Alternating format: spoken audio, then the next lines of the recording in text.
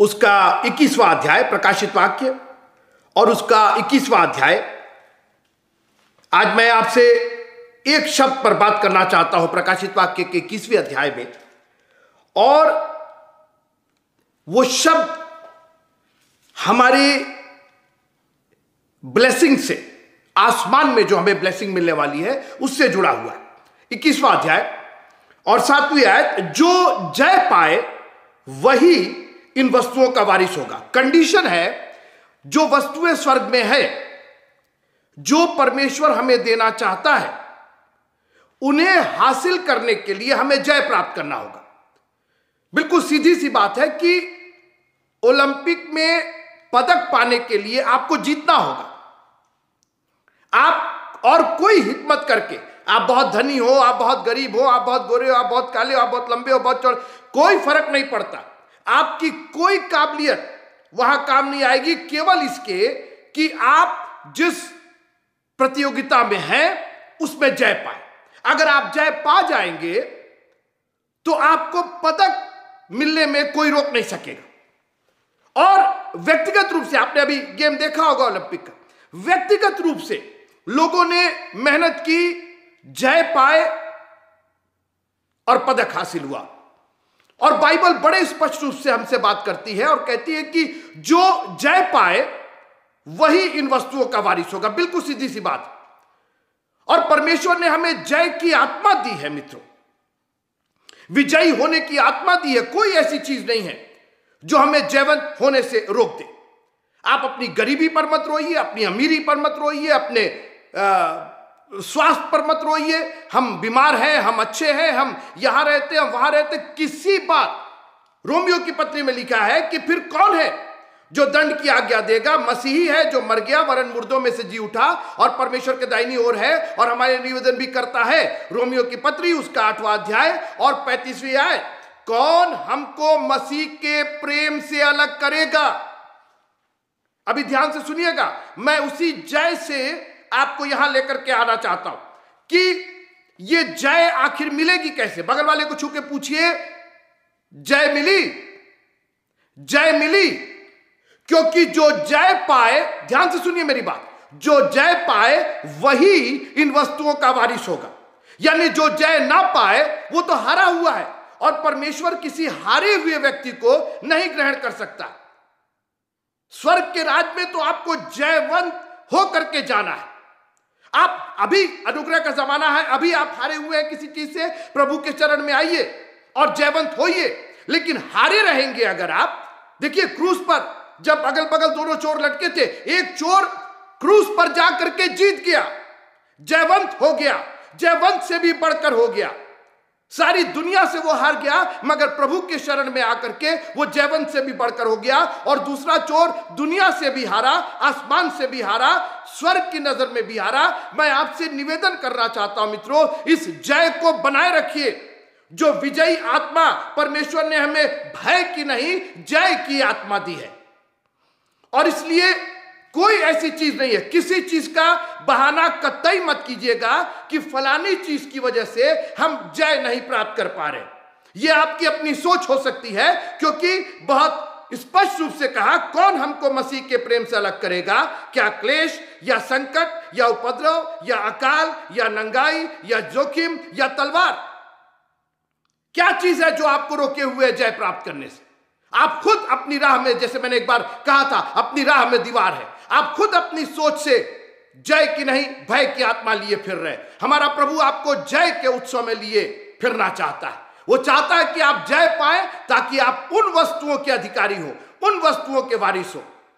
और जानते हैं आप, जय, इस जय के लिए जो मसीही जीवन की जय है, ये तोप से और तलवार से और झगड़े और लड़ाई और मारपीट और युद्ध से नहीं,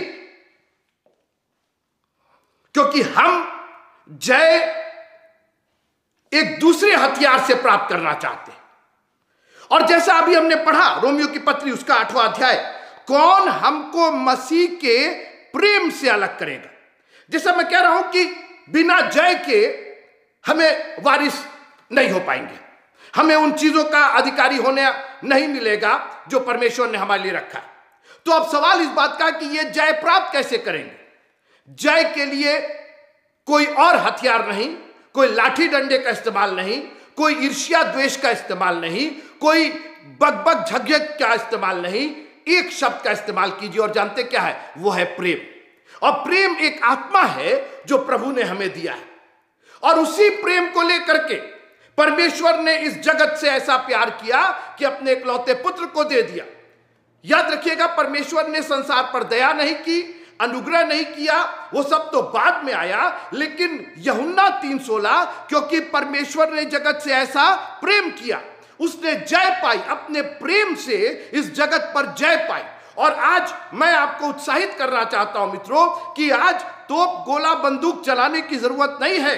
आपको बहुत हथियार लेकर के और बहुत युद्ध में जाने की ज़रूरत नहीं है। एक काम कीजिए, एक आत्मा को अपने में बसा लीजिए, और वो है प्रेम की आत्मा। और जैसा अभी हमने पढ़ा, कौन हमको मसीह के प्रेम से अलग कर सकता है? और प्रेम प्रेम किसमें प्रेम अपने परमेश्वर से। जब परमेश्वर से प्रेम होगा मित्रों तो आपके अंदर जय की आत्मा आ जाएगी। तब आप हर चीज़ पर विजयी हो जाएँगे। तब आप हर चीज़ पर जयवंत हो जाएँगे। लेकिन प्रॉब्लम यह है कि यह प्रेम की आत्मा, किससे प्रेम? आपस में तो बात की बात है। पहले जब मसीह का प्रेम आप में आ जाएगा, जब आप जीसस से प्रेम करने लगेंगे, जब आप यीशु मसीह से मोहब्बत करने लगेंगे तो जय की आत्मा आप में आएगी। याद रखिएगा, जिस दिन आपने यीशु मसीह को रियल प्यार कर दिया, real I love you Jesus बोल दिया, real I love you Jesus कह दिया और कर दिया, उस दिन एक ऐसी आत्मा प्रेम की आत्मा आप में आएगी कि आप जयवंत से भी बढ़ करके हो जाएँगे। हालेलुया। इस प्रेम की कमी के कारण परमेश्वर के प्रति हमारा प्रेम ठंडा हो गया मित्रों। दमे नहीं रह गया उस प्रेम में। वो प्रेम एक रिचुअल हो गया है, एक रीत रिवाज हो गया है। हाँ हाँ हाँ प्रभु को प्यार करते हैं ईसाई है, प्रभु को मानने वाले। नहीं मित्रों, ये प्रेम एक बहुत डिफरेंट तरीके का प्रेम है। इस प्रेम की ना कोई गहराई है, ना ऊंचाई है, ना कोई सीमा है। ये प्रेम इतना बढ़ करके है जिसको कोई नाप नहीं सकता। और मैं आपसे निवेदन करना चाहता हूँ आज की आप उसी मसीह के प्रेम को अपने जीवन में बसने दीजिए। रोमियो की पत्री, आठवां अध्याय, अट्ठाईसवीं आय। हम जानते हैं कि जो लोग परमेश्वर से प्रेम रखते हैं, उनके लिए सब बातें मिलकर भलाई ही को उत्पन्न करती है। जब आप परमेश्वर से प्रेम करते हैं मित्र your love has to be for God because until you love God there is nothing good that will come your way. If you want the good things and the blessings of God come on your way, make sure that you have the love of God in your heart. उसने तो प्यार किया है वो तो अपना प्यार निछावर कर चुका उसने तो अपने दोनों हाथों में कीले अपने पैर में कीले अपने सर पर कांटों का ताज अपने मुँह पर थप्पड़ अपने पीठ पर कोड़े अपने मुँह पर थूक सहा मित्रों आपके अंदर कितना प्यार है क्योंकि जो जय पाए, वही इन वस्तुओं का वारिस होगा और बगैर परमेश्वर से मोहब्बत किए आप जय नहीं प्राप्त कर सकते हैं। और सुनिए, आप कहिए, अरे हम दुआ करते अरे हम ये करते अभी मैं वही लेकर के आ रहा हूँ कि बिना मोहब्बत के आप जय प्राप्त कर ही नहीं सकते। आपके सारे टैलेंट, आपके सारे गुण, आपकी सारी बातें एक शब्द में निहित है और वो है परमेश्वर से प्यार। जब परमेश्वर से प्यार होगा ना तो जय की आत्मा आप पर राज्य करेगी। आपके अंदर एक जय आ जाएगा और जो जय पाए, यानी एक ऐसी चीज़ है जिसको आप पाते हैं और जिसको आप खो भी देते हैं। अगर आपने जय प्राप्त नहीं की तो यानी आपने जय को खो दिया। That is something that you receive that is something that you make an effort for कोई एक ऐसी चीज़ है जिसके लिए आप प्रयत्नशील होते, प्रयत्न करते, क्योंकि आपको प्राप्त करना पदक कोई आपके बिस्तर पर आकर के सोते हुए, रजाई ओढ़े, कंबल ओढ़े हुए हैं, आलसी पड़े हुए और आपको कोई पदक ला करके नहीं देगा। उसके लिए आपने यत्न किया है, प्रयत्न किया है उस जय को प्राप्त करने के लिए, क्योंकि उस जय के बाद ही आप उस पदक के अधिकारी होंगे। और परमेश्वर बहुत स्पष्ट रूप से कहता है, मेहरबानी से जय प्राप्त करो। जय प्राप्त करोगे तभी उन चीज़ों के जो स्वर्ग में है, प्रकाशित वाक्य में जो मैंने राज्य तुमको दिखाया है, जो मैंने सिंहासन बनाया है, उस पर तभी राज्य करोगे जब तुम जय प्राप्त करोगे। हालेलुया। और आज सुबह मैं आपको उत्साहित करना चाहता हूँ कि मित्रों, मेहरबानी से अपने जीवन में जय पर जय प्राप्त करते चले जाइए हर चीज़ पर। और जैसे मैंने कहा कि उसका फॉर्मूला क्या है, कैसे प्राप्त करेंगे, मैं थोड़ी देर में आपको यह समझाना चाहता हूँ कि परमेश्वर का प्यार ही आपको जैवन से भी बढ़ करके बना सकता है। और परमेश्वर के प्यार में वो ताकत है। आपको मालूम है, दाऊद, जो उसने गोलियात पर जो विजय हासिल की, कैसे विजय हासिल की? दुनिया की बातें हम लोग करते हैं कि वो गोलियात को उसने ललकारा और पाँच पत्थर सब बातें छोड़ दीजिए। मेरा प्रश्न यह है कि उसको गोलियात से भिड़ने की क्या ज़रूरत थी?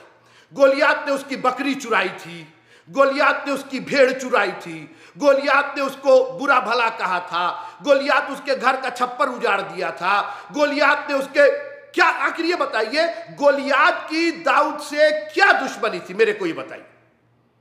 एक भी दुश्मनी नहीं, गोलियात ना दाऊद को जानता था और ना दाऊद गोलियात को जानता था। दाऊद तो गया था युद्ध को देखने के लिए, उसका गोलियात से कोई लेना देना नहीं था। लेकिन गोलियात पराजित हुआ। गोलियात मारा गया या दाऊद के हाथों, केवल वन वर्ड की वजह से, प्रेम की वजह से। किससे प्रेम भैया ये कौन सी बात हुई? आप समझ ही नहीं रहे ना।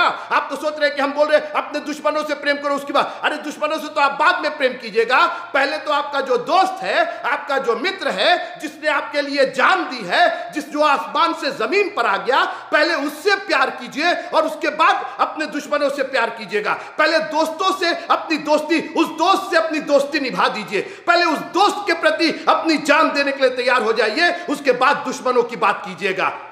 दाऊद ने कहा यह कौन है जो मेरे परमेश्वर को ललकार रहा है? ये कौन खतना रहित है जो जीवते परमेश्वर को मेरी बात सुनिए, दाऊद के मन में अपने परमेश्वर के प्रति एक ललकार थी, एक मोहब्बत थी, एक प्रेम था, और वो प्रेम यहाँ पर गोलियात की आवाज़ से, गोलियात के ललकारने से कम हो रहा था। दाऊद ने कहा, नहीं, ये मोहब्बत गोलियात नहीं कम कर सकता है। कौन है जो हमको मसीह के प्रेम से अलग कर सकती है? क्या तलवार, क्या नगई, क्या अभाव, क्या चीज़ हमको परमेश्वर के प्रेम से अलग कर सकता है? कुछ भी अलग नहीं कर सकता है। इस गोलियात को तो मैं मारूँगा। Do you know why because he love his God क्योंकि वो परमेश्वर को प्यार करता था बेहिंतहा प्यार करता था। बोला, मेरी जान ही चली जाएगी। बात छोड़ दीजिए। लेकिन मेरे परमेश्वर के खिलाफ कोई आवाज़ नहीं उठाएगा। और आज मैं आपसे पूछना चाहता हूँ, आप व्यक्तिगत रूप से तो बड़े गुस्सा हो जाते हमारी पार्टी में नहीं आए, हमारी शादी में नहीं आए, हमने बुलाया था, हमारे घर नहीं आए, हमारी दावत पर नहीं आए, हमारे फलाने नहीं आए, हमको मदद करे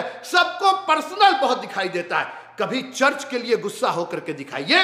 आप हमारे चर्च नहीं आते, हमने आपको बुलाया था, हमने आपको दावत दिया था, आप हमारी प्रेयर मीटिंग में नहीं आए, इसके अंदर हमको गुस्सा नहीं पता अरे चर्च ही में ना ना आए, कोई बात नहीं मीटिंग ही में ना आए, शादी में ज़रूर आइएगा, हमारी दावत में ज़रूर आइएगा, और हमारी पार्टी में ज़रूर आइएगा, और हमारे घर पर ज़रूर, मैं उसके खिलाफ नहीं हूँ, खुदा करे कि हमारे यहाँ लोग आए, लेकिन कोई ऐसा जज्बा रखे कि जब हम चर्च आए तो मोहब्बत के साथ आए, प्रेम के साथ आए, उसके साथ इतनी इतनी मोहब्बत हो जाए कि जो हमारे प्रभु को प्यार नहीं करता, मैं भी उसको प्यार नहीं करता हूँ। क्योंकि मेरे प्रभु के लिए बहुत प्यार है मेरे जीवन में। मेरे प्रभु को मत ललकारना। मैं किसी दूसरे के आगे झुक नहीं सकता हूँ। मेरा प्रभु मेरे लिए महान है। और याद रखिएगा, जब प्रभु से प्रेम होगा तो बाकी सारी चीज़ें अपने आप आती जाएँगे। मैं आपको दिखाना चाहता हूँ। कुरंथियो, पहला कुरंथियो, उसका बारहवा अध्याय। मेरे साथ आइए, पहला कुरंथियो, उसका बारहवा अध्याय। पहला कुरंथियो, उसका बारहवा अध्याय। तेरहवा अध्याय सब जानते हैं।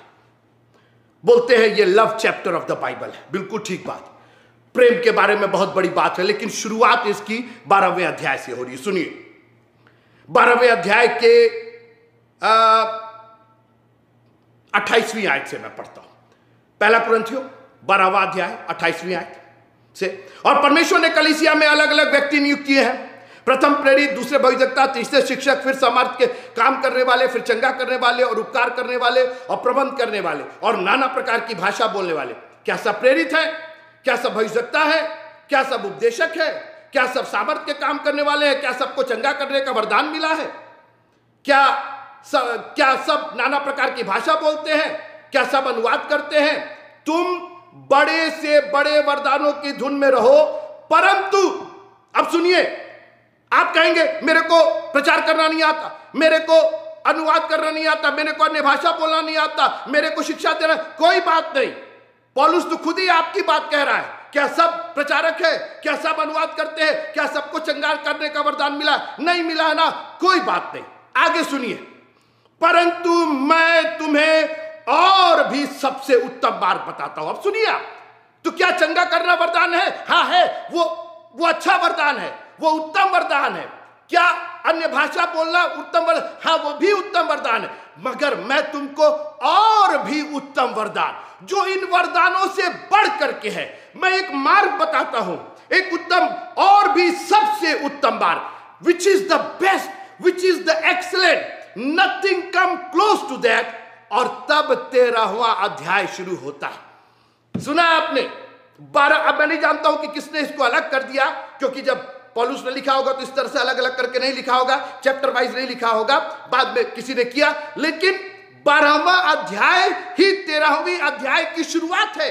मैं तुमको एक और भी सबसे उत्तम मार्ग बताता हूँ। और मित्रों, आप भविष्यवाणी नहीं कर सकते। आपको चंगाई करने का वरदान ना हो, मत घबराइए, कोई बात नहीं, उसकी धुन में रहिए, कहता है, तुम और भी वरदानों की धुन में रहो, मगर there is a way which is much more excellent than all of these things ये सारी चीज़ें बेकार हैं, अगर मोहब्बत नहीं है, अगर प्रेम नहीं है। चार चीज़ें मैं बात करके आपसे विदा लूँगा। नंबर एक, कि आपके सारे स्पिरिचुअल गिफ्ट से ज़्यादा उत्तम प्यार है। पहला कुरंथियो तेरहवा अध्याय और पहली आय। यदि मैं मनुष्यों और स्वरदूतों की बोलियाँ बोलू स्पिरिचुअल गिफ्ट मनुष्यों की बोली और स्वर्गदूतों की बोली मित्रों मामूली समझ रहे आप इस दान को, इस गिफ्ट को आप मामूली समझ रहे हैं। आपको याद होगा, जब पवित्र आत्मा का दान पेंतिकोस के दिन मिला, सब मनुष्यों की बोली बोल रहे थे, क्योंकि जितने लोग वहाँ आए थे, कोई गलीली से कहीं कना, कनानी था, कोई कहाँ कहाँ का था, सब जगह जगह के थे और वो अपनी जबान में इन यहूदियों को बोलते हुए सुन रहे थे। और उनको मालूम था कि ये यहूदी कितना बोलेंगे, लेकिन ये धड़ल्ले से हमारी बोली बोले जा रहे मैं मनुष्यों की बोली बोलूँ और स्वर्ग दूतों की भी बोली बोलूँ। आप मामूली मत समझिए।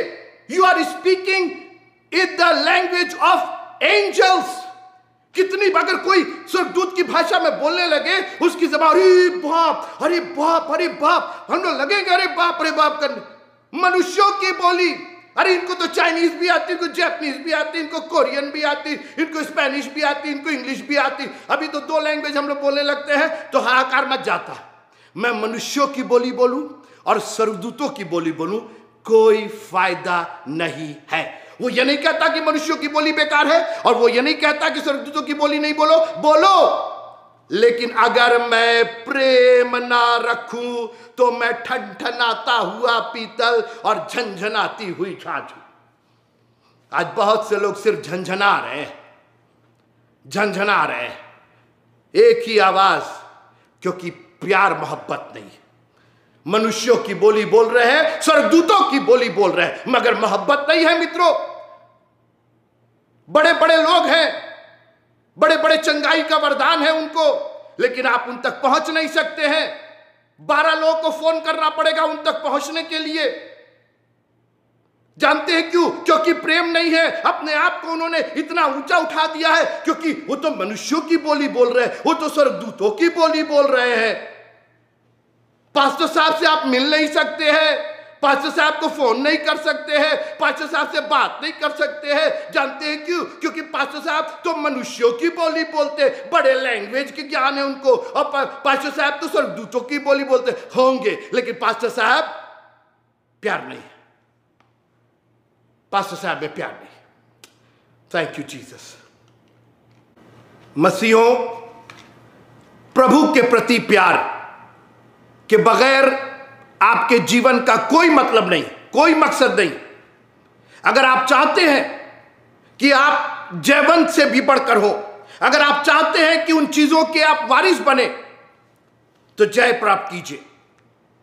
और जैसा पॉलूस बड़े हियाव के साथ लिखता है, चाहे मैं मनुष्यों की और सरदूतों की बोलियाँ बोलूँ, होऊँगा मैं बहुत बड़ा ज्ञानी और जो भी, लेकिन अगर प्रेम नहीं है, किसके प्रति? परमेश्वर के प्रति अगर प्रेम नहीं है, क्योंकि परमेश्वर के प्रति प्रेम होगा, तभी लोगों के प्रति प्रेम होगा।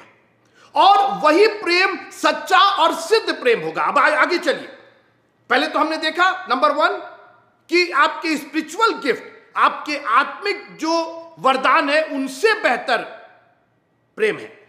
फिर, आपके नॉलेज से बढ़कर, आपके ज्ञान से बढ़कर, आगे सुनिए। और यदि मैं भविष्यवाणी कर सकूँ और सब भेदों और सब प्रकार के ज्ञान को समझूं, अरे, ये तो पीएचडी है, ये तो बहुत बड़े डॉक्टर है, और ये तो बहुत बड़े प्रोफेसर है, और ये तो बिशप साहब है। बहुत ज्ञान है, बहुत नॉलेज हुआ करे। ज्ञान की खराबी नहीं, वो नहीं कह रहा ज्ञान नहीं रखो, वो नहीं कह रहा कि भेद की बातें, पॉलुस तो खुद ही भेद की बातें, वो ये कह रहा है कि परमेश्वर से प्यार कहा गया? कहीं इस ज्ञान हासिल करने करने के चक्कर में कहीं घमंड ने तो जगह नहीं ले ली और जब घमंड आएगा तो परमेश्वर का प्यार दूर हो जाएगा। जब परमेश्वर का प्यार नहीं रहेगा तो घमंड आ जाएगा। और ये घमंड आपको जय प्राप्त नहीं करने देगा। परमेश्वर का प्यार आपको जय प्राप्त करेगा कराएगा। लेकिन जब तक आपके अंदर वो परमेश्वर का प्यार मौजूद नहीं है परमेश्वर का प्रेम जब तक नहीं है मित्रों, तब तक आपका ज्ञान, आपके भेद की बातें जानने का अनुभव, भविष्यवाणियाँ गुड फॉर नथिंग आज बहुत से मसीहियों को, बहुत से बड़े बड़े प्रचारकों को मैंने देखा, बड़ा ज्ञान है, मैं इज़्ज़त करता हूँ मैं बहुत एहतराम करता हूँ उनका। लेकिन मित्रों, मोहब्बत की जब बात आती है ना तो सब बेकार हो जाता है। मोहब्बत ना परमेश्वर के प्रति और ना लोगों के प्रति। और सुनिए तो नंबर एक, प्रेम आत्मिक वरदानों से उत्तम है। प्रेम सब प्रकार के ज्ञान से भी ज़्यादा उत्तम है। फिर तीसरा, प्रेम आपके विश्वास से भी ज़्यादा उत्तम है। अरे, क्या बोल रहे हैं हाँ? ये सुनिए, क्या लिखा हुआ है?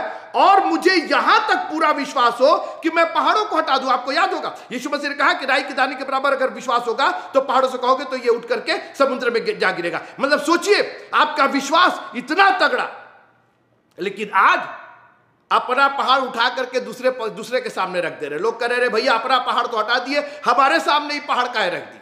जानते क्यों? क्योंकि प्रेम नहीं है। हमने अपने ईर्ष्या में, अपने द्वेष में अपना पहाड़ तो हटा लिया और दूसरे के सामने एक पहाड़ खड़ा कर दिया। दूसरे के सामने एक समस्या खड़ी कर दी।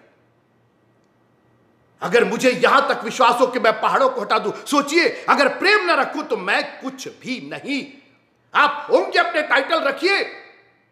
आपको जितना अपने मकान पर लिखवाना है, बिशप साहब, आपको जितना टाइटल लिखवाना है, लिखवा दीजिए। बिशप है रेवरेन है पास्टर होंगे। आप कुछ भी नहीं है, अगर प्यार नहीं है आप अगर मसीह के प्यार के, के से प्यार नहीं और अगर मसीह के लोगों के प्रति प्यार नहीं तो आप कुछ भी नहीं। तो नंबर एक आपके आत्मिक वरदानों से कहीं उत्तम। पलू से क्या कहा मैं तुमको? और भी सबसे उत्तम मार्ग बताता हूँ। और याद रखिएगा प्रेम जो है वो एक ऐसा मार्ग है जो आप अख्तियार करते हैं। ये वरदान नहीं है। ये आप में इन बिल्ट है ये बना हुआ है। इसको हासिल नहीं करना है ये ऑलरेडी है। इसको प्रैक्टिस में लाना है।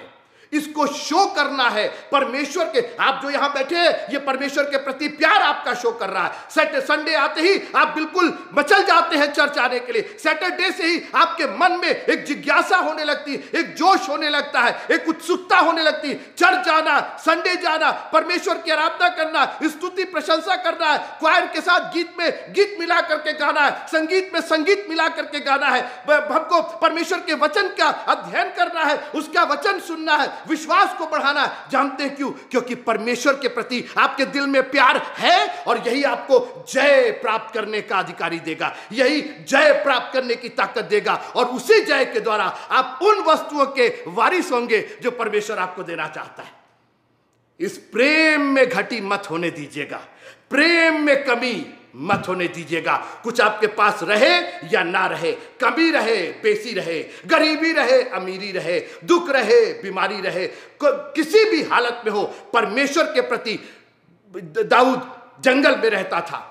जंगल में अकेले रहता था, भेड़ बकरियों के साथ कभी खाने को मिला, नहीं मिला, लेकिन परमेश्वर के प्रति उसने कह दिया यह ही मेरा चरवाहा कितना बड़ा उसका प्यार था, और खुदा ने उसको कितना अजीम किया, कितना जय से भी बढ़ करके परमेश्वर ने उसको इस्तेमाल किया। आज परमेश्वर आपको भी इस्तेमाल करेगा। तीन बातें।